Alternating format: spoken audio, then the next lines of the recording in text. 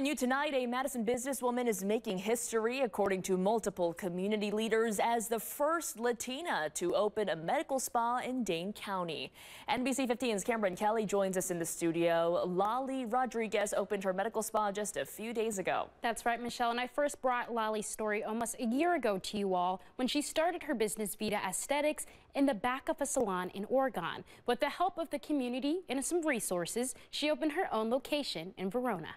A lot of the resources that helped me will also help other people uh, like me or, you know, that have other business ideas. For the last seven months, Lali Rodriguez has watered her vision and watched it blossom into a business plan.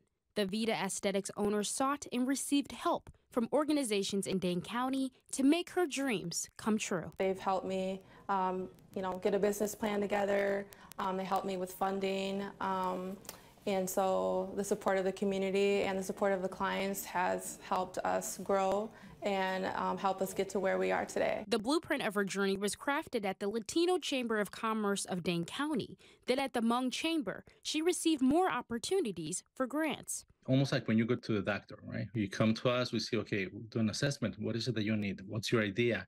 And then we'll help you to formulate it. The Chamber supports entrepreneurs of color through mentorship. It's not only, okay, I have a business now.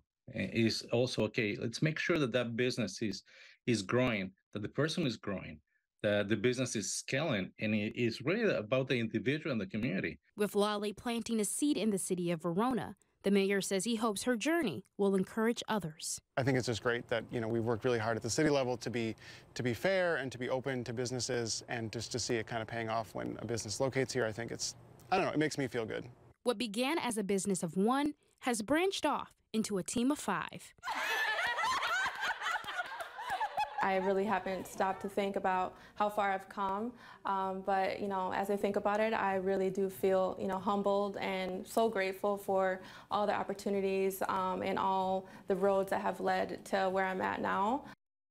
And a few other places Lali received resources from include the Wisconsin Economic Development Corporation, SCORE, and Small Business